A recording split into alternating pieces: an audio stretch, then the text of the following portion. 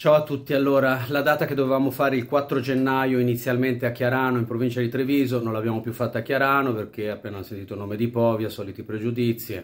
Allora l'abbiamo spostata a San Donà di Piave in provincia di Venezia, ma anche lì quando hanno sentito il nome di Povia, niente, non ci danno il posto neanche lì, sempre con i soliti pregiudizi. Adesso stiamo cercando un altro posto per il 4 gennaio eh, lo troveremo, mh, mm, però niente, ogni volta eh, sempre la stessa cosa su questo nome di Povia. Io spero che un, un domani arriverà anche il mio momento, perché io non sono una persona libera, però sono sano di mente, quindi ogni volta che io dico faccio qualcosa o canto qualcosa non è che lo faccio a caso.